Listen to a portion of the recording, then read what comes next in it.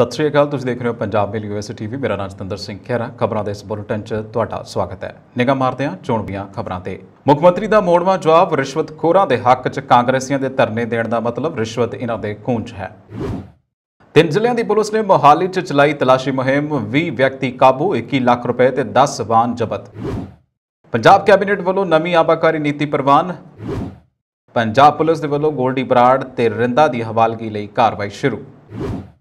ਸੁਖਪਾਲ ਖਹਿਰਾ ਦਾ ਮਾਨ ਸਰਕਾਰ ਤੇ ਤੰਜ, ਹੁਣ ਸਰਕਾਰ ਸ਼ਰਾਬ ਦੇ ਕਾਰੋਬਾਰ ਤੇ ਹੋਵੇਗਾ ਖਾਸ ਆਦਮੀ ਦਾ ਕਬਜ਼ਾ। ਤੇ ਹੁਣ ਖਬਰਾਂ ਵਿਸਤਾਰ ਦੇ ਨਾਲ।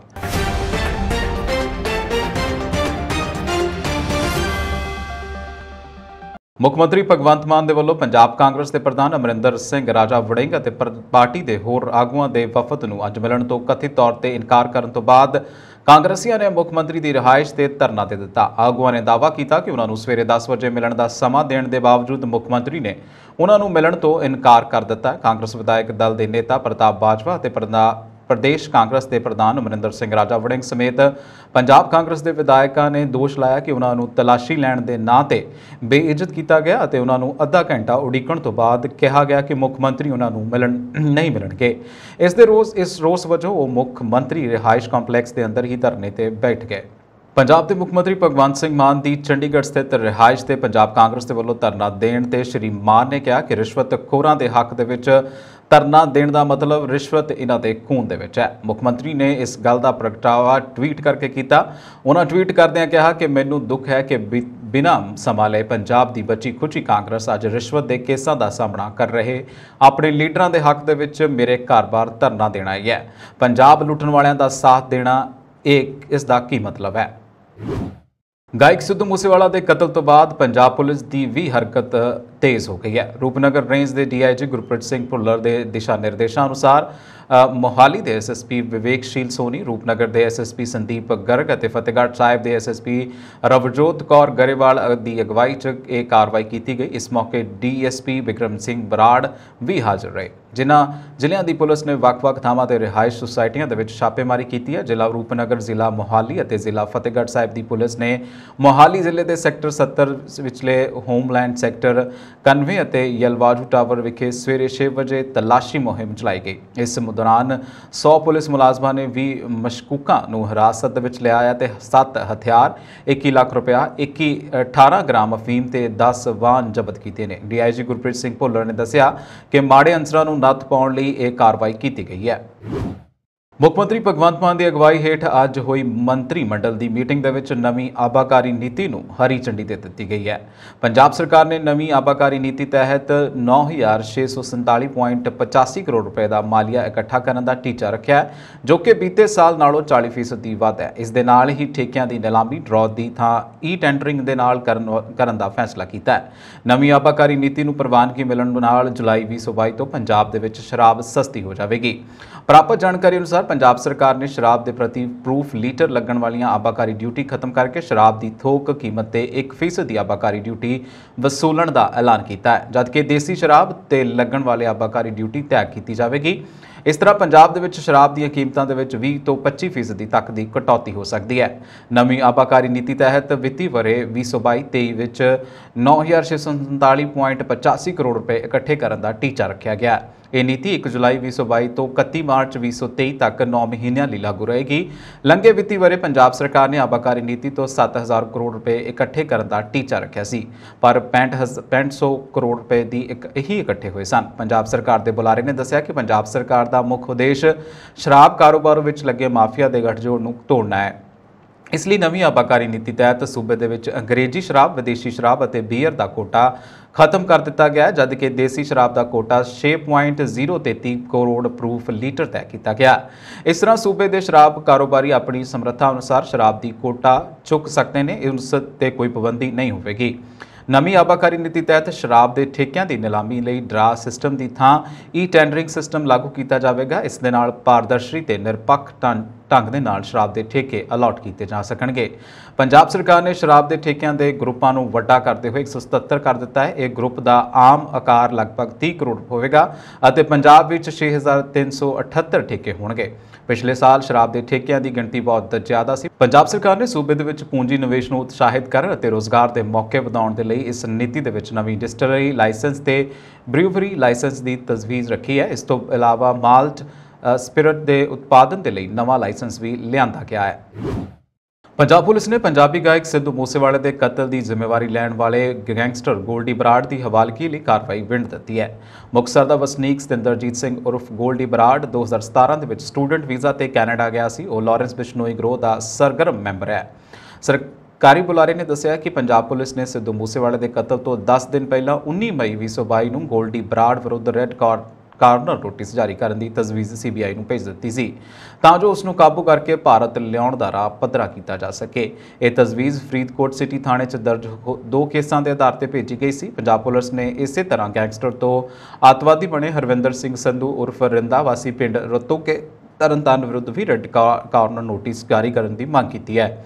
ਇਸ ਸੰਬੰਧੀ ਤਜਵੀਜ਼ 5 ਮਈ 2022 ਨੂੰ ਸੀਬੀਆਈ ਨੂੰ ਭੇਜ ਦਿੱਤੀ ਗਈ ਸੀ। ਰਿੰਦਾ ਹੁਣ ਪਾਕਿਸਤਾਨ ਦੇ ਵਿੱਚ ਰਹਿ ਰਿਹਾ ਹੈ। ਪੰਜਾਬ ਪੁਲਿਸ ਦੇ ਨਾਲ ਸਾਂਝੇ ਆਪਰੇਸ਼ਨ ਦੌਰਾਨ ਕਰਨਾਲ ਵਿੱਚ ਗ੍ਰਿਫਤਾਰ ਕੀਤੇ ਗਏ ਚਾਰ ਅੱਤਵਾਦੀ ਤੋਂ ਭਾਰੀ ਮਾਤਰਾ ਦੇ ਵਿੱਚ ਹਥਿਆਰ ਗੋਲਾ ਬਾਰੂਦ ਅਤੇ ਆਈਈਡੀ ਬਰਾਮਦ ਕੀਤੇ ਗਏ ਨੇ ਜੋ ਕਿ ਰਿੰਦਾ ਨਾਲ ਸੰਬੰਧਿਤ ਸਨ। ਰਿੰਦਾ ਵਿਰੁੱਧ ਜ਼ਿਲ੍ਹਾ ਪਟਿਆਲਾ ਦੇ ਤਿੰਨ ਮਾਮਲਿਆਂ ਦੇ ਵਿੱਚ ਵੀ ਰੈੱਡ ਕਾਰਨਰ ਨੋਟਿਸ ਜਾਰੀ ਕਰ ਦਿੱਤਾ ਗਿਆ। ਆਮ ਆਦਮੀ ਪਾਰਟੀ ਦੀ ਸਰਕਾਰ ਦੇ ਵੱਲੋਂ ਮਨਜ਼ੂਰ ਕੀਤੀ ਗਈ ਨਵੀਂ ਐਕਸਰਸਾਈਜ਼ ਐਕਸਾਈਜ਼ ਪਾਲਿਸੀ ਦਾ ਵਿਰੋਧ ਸ਼ੁਰੂ ਹੋ ਗਿਆ। ਹੈ, ਜਿਸ ਦੇ ਤਹਿਤ ਕਾਂਗਰਸੀ ਵਿਧਾਇਕ ਸੁਖਪਾਲ ਖਹਿਰਾ ਨੇ ਮੁੱਖ ਮੰਤਰੀ ਭਗਵੰਤ ਮਾਨ ਤੇ ਨਿਸ਼ਾਨਾ ਵੰਨਿਆ ਨਾ ਉਹਨਾਂ ਨੇ ਕਿਹਾ ਕਿ ਜਿਸ ਤਰ੍ਹਾਂ ਦੀਆਂ ਸ਼ਰਤਾਂ ਰੱਖੀਆਂ ਗਈਆਂ ਨੇ, ਉਸ ਤੋਂ ਸਪਸ਼ਟ ਹੋ ਗਿਆ ਕਿ ਪਾਲਿਸੀ ਪੌਂਟੀ ਚੱਡਾ ਵਰਗੇ ਵੱਡੇ ਸ਼ਰਾਬ ਕਾਰੋਬਾਰੀਆਂ ਦੇ ਲਈ ਬਣਾਈ ਗਈ ਹੈ। ਸੁਖਪਾਲ ਖਹਿਰਾ ਨੇ ਕਿਹਾ ਕਿ ਮੌਜੂਦਾ ਸਮੇਂ 'ਚ ਚੱਲ ਰਹੇ 5 ਕਰੋੜ ਤੱਕ ਦੇ ਸਰਕਲ ਦੀ ਬਜਾਏ ਹੁਣ 35 ਕਰੋੜ ਦਾ ਸਰਕਲ ਕਰਨ ਨਾਲ ਖਾਸ ਆਦਮੀ ਹੀ ਹੁਣ ਸ਼ਰਾਬ ਦੇ ਕਾਰੋਬਾਰ ਦੇ ਵਿੱਚ ਹਿੱਸਾ ਲੈ ਸਕਦੇ ਨੇ। ਇਸ ਨੂੰ ਸਰਕਾਰ ਦੇ ਵੱਲੋਂ ਆਮ ਆਦਮੀ ਪਾਰਟੀ ਦੀ ਕੀਮਤ ਤੇ ਸ਼ਰਾਬ ਕਾਰੋਬਾਰ ਉੱਪਰ ਕਿਸੇ ਇੱਕ ਕੰਪਨੀ ਦਾ ਕਬਜ਼ਾ ਕਰਵਾਉਣ ਦੀ ਕਵਾਇਦ ਵਜੋਂ ਵੇਖਿਆ ਜਾ ਸਕਦਾ ਹੈ। ਦੱਸਣਯੋਗ ਹੈ ਕਿ ਬੀਤੇ ਦਿਨੀ ਮੁੱਖ ਮੰਤਰੀ ਮਾਨ ਦੀ ਅਗਵਾਈ 'ਚ ਪੰਜਾਬ ਕੈਬਨਿਟ ਨੇ ਨਵੀਂ ਆਬਾਕਾਰੀ ਨੀਤੀ ਨੂੰ ਪ੍ਰਵਾਨਗੀ ਦੇ ਦਿੱਤੀ, ਜਿਸ ਨਾਲ 9647.85 ਕਰੋੜ ਰੁਪਏ ਦਾ ਮਾਲੀਆ ਪੈਦਾ ਹੋਣ ਦੀ ਸੰਭਾਵਨਾ ਹੈ। ਜੋ ਬੀਤੇ ਸਾਲ 40% ਵੱਧ ਹੋਵੇਗਾ, ਮੁੱਖ ਮੰਤਰੀ ਦੇ ਇੱਕ ਬੁਲਾਰੇ ਨੇ ਦੱਸਿਆ ਕਿ ਇਹ ਨੀਤੀ ਸਖਤੀ ਦੇ ਨਾਲ ਪਾਲਣਾ ਕਰਕੇ ਅਤੇ ਨਵੇਂ ਟੈਕਨੋਲੋਜੀ ਨੂੰ ਸ਼ਾਮਲ ਕਰਦਿਆਂ ਗਵਾਂਢੀ ਸੂਬਿਆਂ ਤੋਂ ਸ਼ਰਾਬ ਦੀ ਤਸਕਰੀ ਤੇ ਸਖਤ ਨਜ਼ਰ ਰੱਖਣ ਉਤੇ ਜ਼ੋਰ ਦਿੰਦੀ ਹੈ। ਨਵੀਂ ਆਬਾਕਾਰੀ ਨੀਤੀ ਦਾ ਉਦੇਸ਼ ਸਾਲ 2022-23 ਦੇ ਵਿੱਚ 9647.85 ਕਰੋੜ ਰੁਪਏ ਇਕੱਤਰ ਕਰਨਾ ਹੈ। ਇਹ ਨੀਤੀ 1 ਜੁਲਾਈ 2022 ਤੋਂ 31 ਮਾਰਚ 2023 ਤੱਕ 9 ਮਹੀਨਿਆਂ ਦੇ ਸਮੇਂ ਲਈ ਲਾਗੂ ਕਰੇਗੀ। ਕੈਬਨਿਟ ਨੇ ਆਬਾਕਾਰੀ ਵਿਭਾਗ ਦੇ ਨਾਲ ਪਹਿਲਾਂ ਪਹਿਲਾਂ ਤਾਇਨਾਤ ਪੁਲਿਸ ਤੋਂ ਇਲਾਵਾ ਦੋ ਹੋਰ ਵਿਸ਼ੇਸ਼ ਬਟਾਲੀਅਨ ਆਬਾਕਾਰੀ ਵਿਭਾਗ ਨੂੰ ਅਲਾਟ ਕਰਨ ਦੀ ਵੀ ਸਹਿਮਤੀ ਦਿੱਤੀ ਹੈ ਤਾਂ ਕਿ ਐਕਸਾਈਜ਼ ਡਿਊਟੀ ਦੀ ਚੋਰੀ ਤੇ ਪ੍ਰਭਾਵਸ਼ਾਲੀ ਤਰੀਕੇ ਦੇ ਨਾਲ ਨਜ਼ਰ ਰੱਖੀ ਜਾ ਸਕੇ। ਇਸ ਨਾਲ ਪੰਜਾਬ ਵਿੱਚ ਗਵਾਂਢੀ ਸੂਬਿਆਂ ਤੋਂ ਹੁੰਦੀ ਸ਼ਰਾਬ ਦੀ ਤਸਕਰੀ ਨੂੰ ਰੋਕਣ ਦੇ ਵਿੱਚ ਵੀ ਮਦਦ ਮਿਲੇਗੀ। ਗਾਇਕ ਸਿੱਧੂ ਮੂਸੇਵਾਲਾ ਦੇ ਕਤਲ ਮਾਮਲੇ 'ਚ ਦਿੱਲੀ ਪੁਲਿਸ ਨੇ ਵੱਡਾ ਖੁਲਾਸਾ ਕੀਤਾ ਜਿਸ ਲਾਰੈਂਸ ਬਿਸ਼ਨੋਈ ਕੋਲੋਂ ਲੰਬੇ ਸਮੇਂ ਤੋਂ ਪੁੱਛਗਿੱਛ ਹੋ ਰਹੀ ਸੀ। ਹੁਣ ਨੂੰ ਹੁਣ ਪੁਲਿਸ ਨੇ ਇਸ ਮਾਮਲੇ ਦਾ ਮਾਸਟਰਮਾਈਂਡ ਦੱਸਿਆ ਹੈ। ਇਹ ਵੀ ਦੱਸਿਆ ਗਿਆ ਹੈ ਕਿ ਇਸ ਕਤਲ ਕਾਂਡ ਦੇ ਵਿੱਚ ਹੁਣ ਤੱਕ ਪੰਜ ਮੁਲਜ਼ਮਾਂ ਦੀ ਪਛਾਣ ਹੋ ਚੁੱਕੀ ਹੈ। ਅਗੇਰਲੀ ਜਾਂਚ ਕੀਤੀ ਜਾ ਰਹੀ ਹੈ। ਦਿੱਲੀ ਪੁਲਿਸ ਦੇ ਸਪੈਸ਼ਲ ਸੈੱਲ ਨੇ ਵੀ ਇਸ ਗੱਲ ਤੇ ਜ਼ੋਰ ਦਿੱਤਾ ਹੈ ਕਿ ਸਿੱਧੂ ਮੂਸੇਵਾਲੇ ਦੇ ਕਤਲ ਦੀ ਤਿਆਰੀ ਬਹੁਤ ਪਹਿਲਾਂ ਤੋਂ ਕੀਤੀ ਗਈ ਸੀ। ਇਸ ਘਟਨਾ ਨੂੰ ਰਣਨੀਤੀ ਅਨੁਸਾਰ ਅੰਜਾਮ ਦਿੱਤਾ ਗਿਆ। ਇਸ 'ਚ ਬਿਸ਼ਨੋਈ ਮੁੱਖ ਮੁਲਜ਼ਮ ਵਜੋਂ ਸਾਹਮਣੇ ਆਇਆ ਹੈ, ਜਦੋਂ ਦੂਜੇ ਪਾਸੇ ਸੌਰਭ ਮਹਾਕਾਲ ਉਰਫ ਸਿਦੇਸ਼ ਹੀਰਾਮਲ ਨੇ ਵੀ ਇਸ ਮਾਮਲੇ 'ਚ ਸਰਗਰਮ ਭੂਮਿਕਾ ਨਿਭਾਈ ਹੈ। ਸਿੱਧੂ ਮੂਸੇਵਾਲੇ ਦੇ ਕਤਲ 'ਚ ਸ਼ਾਮਲ ਪ੍ਰਮੁੱਖ ਸ਼ੂਟਰ ਤੇ ਕਰੀਬੀ ਮਹਾਕਾਲ ਨੂੰ ਗ੍ਰਿਫਤਾਰ ਕਰ ਲਿਆ ਗਿਆ ਹੈ। ਮਹਾਰਾਸ਼ਟਰ ਪੁਲਿਸ ਨੇ ਮਹਾਕਾਲ ਨੂੰ ਪੁਣੇ ਤੋਂ ਮਕੋਕਾ ਤਹਿਤ ਗ੍ਰਿਫਤਾਰ ਕੀਤਾ ਹੈ। ਪੰਜਾਬ ਪੁਲਿਸ ਹੁਣ ਉਸ ਤੱਕ ਆਸਾਨੀ ਦੇ ਨਾਲ ਪਹੁੰਚ ਸਕੇਗੀ। ਕਰੋਨਾ ਮਗਰੋਂ ਮੌਂਕੀਪੌਕਸ ਵੀ ਕੈਨੇਡਾ, ਅਮਰੀਕਾ ਸਣੇ ਦੁਨੀਆ ਦੇ ਕਈ ਮੁਲਕਾਂ ਦੇ ਵਿੱਚ ਲਗਾਤਾਰ ਫੈਲਦਾ ਜਾ ਰਿਹਾ ਹੈ। ਇਸ ਨੂੰ ਮੱਦੇਨਜ਼ਰ ਰੱਖਦਿਆਂ ਕੈਨੇਡਾ ਸਰਕਾਰ ਨੇ ਆਪਣੇ ਨਾਗਰਿਕਾਂ ਲਈ ਟਰੈਵਲ ਨੋਟਿਸ ਜਾਰੀ ਕੀਤਾ, ਜਿਸ ਵਿੱਚ ਨਾਗਰਿਕਾਂ ਨੂੰ ਉਹਨਾਂ ਦੇਸ਼ਾਂ ਦੀ ਯਾਤਰਾ ਨਾ ਕਰਨ ਦੀ ਸਲਾਹ ਦਿੱਤੀ ਗਈ ਹੈ, ਜਿੱਥੇ ਇਹ ਬਿਮਾਰੀ ਜ਼ਿਆਦਾ ਫੈਲ ਰਹੀ ਹੈ। Public health agency of Canada ਵੱਲੋਂ ਜਾਰੀ ਟਰੈਵਲ ਨੋਟਿਸ ਦੇ ਵਿੱਚ ਕਿਹਾ ਗਿਆ ਹੈ ਕਿ ਮੰਕੀਪੌਕਸ ਦੇ ਮਰੀਜ਼ ਆਮ ਤੌਰ ਤੇ ਪਹਿਲਾਂ ਕੇਂਦਰੀ ਤੇ ਪੱਛਮੀ ਅਫਰੀਕਾ ਦੇ ਵਿੱਚ ਮਿਲਦੇ ਸਨ, ਹੁਣ ਪਰ ਹੁਣ ਇਹ ਬਿਮਾਰੀ ਵਿਸ਼ਵ ਦੇ ਹੋਰ ਨਾਲ ਲਗਭਗ 2 ਦਰਜਨ ਮੁਲਕਾਂ ਦੇ ਵਿੱਚ ਵੀ ਤੇਜ਼ੀ ਦੇ ਨਾਲ ਫੈਲ ਰਹੀ ਹੈ। ਜਿਨ੍ਹਾਂ ਦੇ ਵਿੱਚ ਅਮਰੀਕਾ, ਆਸਟ੍ਰੇਲੀਆ ਯੂਕੇ ਤੇ ਸਾਡਾ ਆਪਣਾ ਦੇਸ਼ ਕੈਨੇਡਾ ਵੀ ਸ਼ਾਮਲ ਹੈ। ਇਸ ਲਈ ਇਸ ਬਿਮਾਰੀ ਨੂੰ ਫੈਲਣ ਤੋਂ ਰੋਕਣ ਲਈ ਸਾਵਧਾਨੀਆਂ ਇੱਕੋ ਇੱਕ ਰਾਹ ਹੈ। ਅਮਰੀਕਾ 'ਚ ਵੱਖ-ਵੱਖ ਅਹੁਦਿਆਂ ਲਈ ਪ੍ਰਾਇਮਰੀ ਚੋਣਾਂ ਹੋ ਕੇ ਹਟੀਆਂ ਨੇ। ਇਸੇ ਤਰ੍ਹਾਂ ਕੈਲੀਫੋਰਨੀਆ ਦੇ ਵਿੱਚ ਸਿੱਖ ਭਾਈਚਾਰੇ ਦੇ ਵੱਲੋਂ ਵੱਖ-ਵੱਖ ਉਮੀਦਵਾਰਾਂ ਦੀ ਹਮਾਇਤ ਕੀਤੀ ਗਈ ਅਤੇ ਇਹਨਾਂ ਉਮੀਦਵਾਰਾਂ ਨੇ ਜਿੱਤ ਹਾਸਲ ਕੀਤੀ ਹੈ। ਸੈਕਰਾਮੈਂਟੋ ਕਾਉਂਟੀ ਦੇ ਡਿਸਟ੍ਰਿਕਟ ਅਟਾਰਨੀ ਵਜੋਂ ਚੋਣ ਲੜ ਰਹੇ ਤੀਨ ਹੋ ਨੇ ਆਪਣੀ ਜਿੱਤ ਦੀ ਖੁਸ਼ੀ ਦੇ ਵਿੱਚ ਰੱਖੀ ਗਈ। ਪਾਰਟੀ ਦੌਰਾਨ ਸਿੱਖ ਕੌਮ ਬਾਰੇ ਵਿਸ਼ੇਸ਼ ਤੌਰ ਤੇ ਜ਼ਿਕਰ ਕੀਤਾ। ਉਹਨਾਂ ਕਿਹਾ ਕਿ ਮੈਂ ਬੜਾ ਧੰਨਵਾਦੀ ਹਾਂ ਕਿ ਸਿੱਖ ਕੌਮ ਨੇ ਮੇਰੀ ਚੋਣ ਮੁਹਿੰਮ ਦੌਰਾਨ ਵੱਧ ਚੜ੍ਹ ਕੇ ਯੋਗਦਾਨ ਪਾਇਆ। ਉਹਨਾਂ ਕਿਹਾ ਕਿ ਮੈਂ ਸਿੱਖ ਕੌਮ ਬਾਰੇ ਬੜੀ ਚੰਗੀ ਤਰ੍ਹਾਂ ਜਾਣਦਾ ਹਾਂ। ਇਹ ਇੱਕ ਮਿਹਨਤਕਸ਼ ਕੌਮ ਹੈ। ਉਹਨਾਂ ਕਿਹਾ ਕਿ ਅਮਰੀਕਾ ਦੇ ਅਰਥਚਾਰੇ 'ਚ ਸਿੱਖਾਂ ਦਾ ਬੜਾ ਚੰਗਾ ਯੋਗਦਾਨ ਹੈ। ਜ਼ਿਕਰਯੋਗ ਹੈ ਕਿ ਤੀਨ ਹੋ ਦੀ ਕੈਂਪ ਕੈਂਪੇਨ ਲਈ ਸਿੱਖ ਭਾਈਚਾਰੇ ਵੱਲੋਂ ਸੈਕਰਾਮੈਂਟੋ ਦੇ ਵਿੱਚ ਵੱਖ-ਵੱਖ ਥਾਵਾਂ ਤੇ ਵੱਧ ਚੜ੍ਹ ਕੇ ਫੰਡ ਰੇਜ਼ ਕੀਤਾ ਗਿਆ ਸੀ।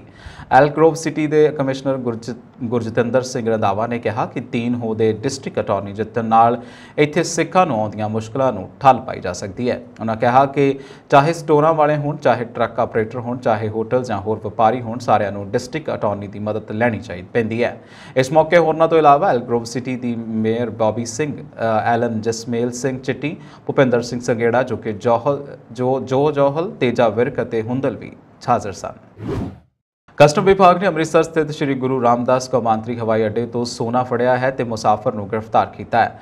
ਕੁੱਲ 135 ਗ੍ਰਾਮ ਸੋਨਾ ਬਰਾਮਦ ਹੋਇਆ ਹੈ। ਪੱਤਰਕਾਰਾਂ ਨੂੰ ਜਾਣਕਾਰੀ ਦਿੰਦੇ ਹੋਏ ਕਸਟਮ ਵਿਭਾਗ ਨੇ ਦੱਸਿਆ ਕਿ ਬੁੱਧਵਾਰ ਸਵੇਰੇ ਅੰਮ੍ਰਿਤਸਰ ਪੁੱਜੇ ਯਾਤਰੀ ਨੂੰ ਗ੍ਰੀਨ ਚੈਨਲ ਤੋਂ ਬਾਹਰ ਨਿਕਲਦੇ ਸਮੇਂ ਕਸਟਮ ਪ੍ਰੀਵੈਂਟਿਵ ਕਮਿਸ਼ਨਰੇਟ ਅੰਮ੍ਰਿਤਸਰ ਦੇ ਅਧਿਕਾਰੀ ਨੇ ਰੋਕਿਆ, ਤਾਂ ਉਸ ਤੋਂ ਸੋਨਾ ਮਿਲਿਆ। ਜਾਣਕਾਰੀ ਮੁਤਾਬਕ ਬੀਤੇ ਦਿਨੀ ਫਲਾਈਟ ਨੰਬਰ ਆਈ IX 192 ਰਾਹੀਂ ਆਇਆ ਮੁਸਾਫਰ ਗ੍ਰੀਨ ਚੈਨਲ ਤੋਂ ਲੰਘ ਰਿਹਾ ਸੀ।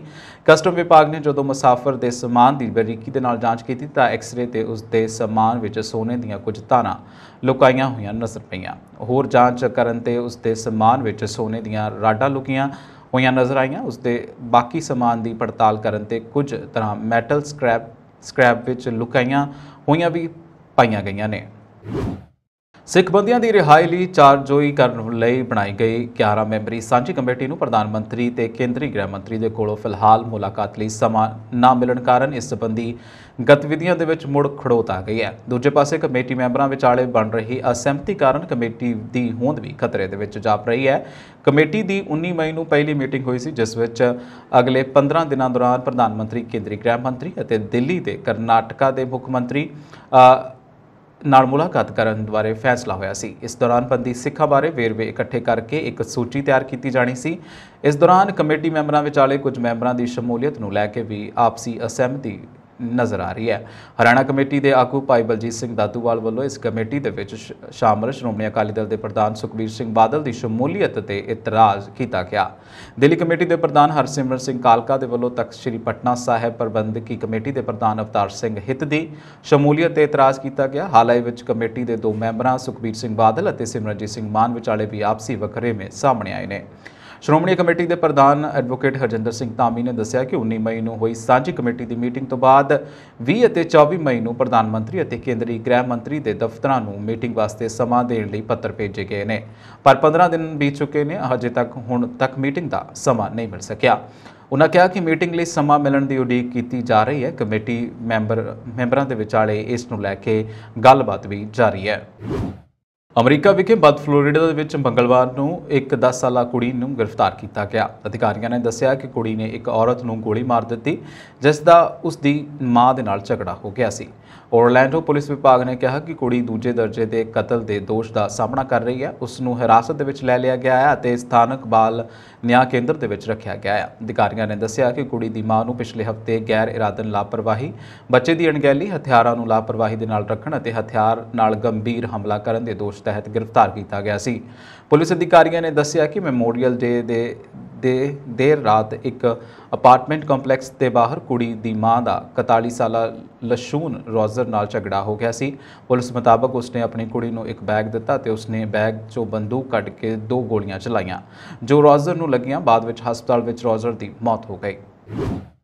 ਉੱਤਰੀ ਕੈਲੀਫੋਰਨੀਆ ਦੇ ਵਿੱਚ ਪਿਛਲੇ 2 ਦਿਨਾਂ ਦੌਰਾਨ ਹੋਏ ਵੱਖ-ਵੱਖ ਹਾਦਸਿਆਂ ਦੇ ਵਿੱਚ ਮਾਊਂਟ ਸ਼ਾਸਤਾ ਦੀ ਚੋਟੀ ਤੇ ਚੜ੍ਹਨ ਦੀ ਕੋਸ਼ਿਸ਼ ਦੌਰਾਨ ਇੱਕ ਪਰਬਤਾਰੋਹੀ ਗਾਈਡ ਦੀ ਮੌਤ ਹੋ ਗਈ ਅਤੇ ਘੱਟੋ-ਘੱਟ 4 ਹੋਰ ਜ਼ਖਮੀ ਹੋ ਗਏ। ਅਧਿਕਾਰੀਆਂ ਨੇ ਮੰਗਲਵਾਰ ਨੂੰ ਇਹ ਜਾਣਕਾਰੀ ਦਿੱਤੀ। ਸਿਸਕਿਓ ਕਾਉਂਟੀ ਸ਼ੈਰਿਫ ਦੇ ਦਫ਼ਤਰ ਨੇ ਇਹ ਕਿਹਾ ਕਿ ਔਰਗਨ ਨਿਵਾਸੀ ਜੀਲੀਅਨ ਵੈਬਸਟਰ 32 ਸਾਲਾ ਸੋਮਵਾਰ ਸਵੇਰੇ ਇੱਕ ਆਦਮੀ ਅਤੇ ਇੱਕ ਔਰਤ ਦੀ ਅਗਵਾਈ ਕਰ ਰਹੇ ਸਨ, ਜਦੋਂ ਕਿ ਇੱਕ ਪਰਬਤਾਰੋਹੀ ਤਿਲਕ ਗਿਆ ਅਤੇ ਤਿੰਨੋਂ ਦੇ ਵਿੱਚ ਇੱਕ ਵਾਰ ਵਿੱਚ 1500 ਤੋਂ 2500 ਫੁੱਟ ਤੱਕ ਡਿੱਗ ਗਏ। ਉਹਨਾਂ ਨੂੰ ਹਸਪਤਾਲ ਲਿਜਾਇਆ ਗਿਆ ਜਿੱਥੇ ਡਾਕਟਰਾਂ ਨੇ ਵੈਬਸਟਰ ਨੂੰ ਮ੍ਰਿਤਕ ਐਲਾਨ ਦਿੱਤਾ।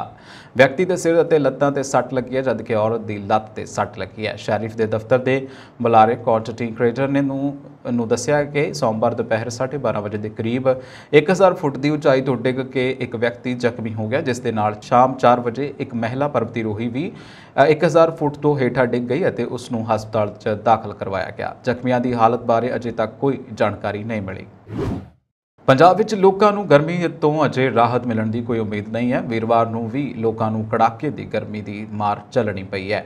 ਸੂਬੇ ਦੇ ਦੋ ਜ਼ਿਲ੍ਹਿਆਂ ਬਠਿੰਡਾ ਅਤੇ ਪਟਿਆਲਾ ਦੇ ਵਿੱਚ ਬੁੱਧਵਾਰ ਨੂੰ ਵੱਧ ਤੋਂ ਵੱਧ ਤਾਪਮਾਨ 46 ਡਿਗਰੀ ਸੈਲਸੀਅਸ ਤੋਂ ਵੱਧ ਦਰਜ ਕੀਤਾ ਗਿਆ। ਮੌਸਮ ਵਿਭਾਗ ਨੇ 10 ਜੂਨ ਤੋਂ ਬਾਅਦ ਗਰਮੀ ਤੋਂ ਰਾਹਤ ਮਿਲਣ ਦੀ ਉਮੀਦ ਜਤਾਈ ਹੈ। ਮੌਸਮ ਵਿਭਾਗ ਮੁਤਾਬਕ ਪੰਜਾਬ ਦੇ ਮਾਝੇ ਅਧੀਨ ਪੈਂਦੇ ਪਠਾਨਕੋਟ, ਗੁਰਦਾਸਪੁਰ, ਅੰਮ੍ਰਿਤਸਰ ਤੇ ਤਰਨਤਾਰਨ ਵਿੱਚ ਲੂ ਜਾਰੀ ਰਹੇਗੀ। ਇਸ ਦੇ ਨਾਲ ਹੀ ਦੁਬਾਬਾ ਦੇ ਹੁਸ਼ਿਆਰਪੁਰ ਨਵਾਂ ਸ਼ਹਿਰ 'ਚ ਰਹਿਣ ਵਾਲੇ ਲੋਕਾਂ ਨੂੰ ਗਰਮ ਹਵਾਵਾਂ ਤੋਂ ਰਾਹਤ ਮਿਲੇਗੀ। ਦੁਆਬਾ ਦੇ ਦੋ ਹੋਰ ਜ਼ਿਲ੍ਹਿਆਂ, ਕਪੂਰਥਲਾ ਅਤੇ ਜਲੰਧਰ ਦੇ ਵਿੱਚ ਲੋਕਾਂ ਨੂੰ ਤੇਜ਼ ਗਰਮ ਹਵਾਵਾਂ ਦਾ ਸਾਹਮਣਾ ਕਰਨਾ ਪੈ ਸਕਦਾ ਹੈ। ਪੱਛਮੀ ਮਾਲਵੇ ਦੇ ਫਿਰੋਜ਼ਪੁਰ, ਫਜ਼ਿਲਕਾ ਫਰੀਦਕੋਟ, ਮੁਕਤਸਰ, ਮੋਗਾ ਤੇ ਬਠਿੰਡਾ ਦੇ ਨਾਲ ਪੂਰਬੀ ਮਾਲਵੇ ਦੇ ਲੁਧਿਆਣਾ, ਬਰਨਾਲਾ, ਮਾਨਸਾ ਤੇ ਸੰਗਰੂਰ, ਫਤਿਹਗੜ੍ਹ ਸਾਹਿਬ, ਪਟਿਆਲਾ ਤੇ ਮੋਹਾਲੀ ਨੂੰ ਕੜਾਕੇ ਦੀ ਗਰਮੀ ਝੱਲਣੀ ਪਵੇਗੀ। ਰੋਪੜ ਵਿੱਚ ਰਾਹਤ ਰਹੇਗੀ। ਮੌਸਮ ਵਿਭਾਗ ਨੇ ਇਹਨਾਂ ਸਾਰੇ ਜ਼ਿਲ੍ਹਿਆਂ ਦੇ ਵਿੱਚ ਰਹਿਣ ਵਾਲੇ ਲੋਕਾਂ ਨੂੰ ਦੁਪਹਿਰ ਵੇਲੇ ਕੋਈ ਜ਼ਰੂਰੀ ਕੰਮ ਹੋਣ ਤੇ ਹੀ ਘਰੋਂ ਬਾਹਰ ਨਿਕਲਣ ਦੀ ਹਦਾਇਤ ਦਿੱਤੀ ਹੈ। ਜੇਕਰ ਘਰੋਂ ਬਾਹਰ ਜਾਣਾ ਵੀ ਪਵੇ ਤਾਂ ਪਾਣੀ ਤੇ ਹੋਰ ਜ਼ਰੂਰੀ ਚੀਜ਼ਾਂ ਨਾਲ ਲੈ ਕੇ ਜਾਓ। ਬੁੱਧਵਾਰ ਨੂੰ ਪਟਿਆਲਾ ਅਤੇ ਬਠਿੰਡਾ ਜੇਲ੍ਹ ਸਭ ਤੋਂ ਗਰਮ ਰਹੇ।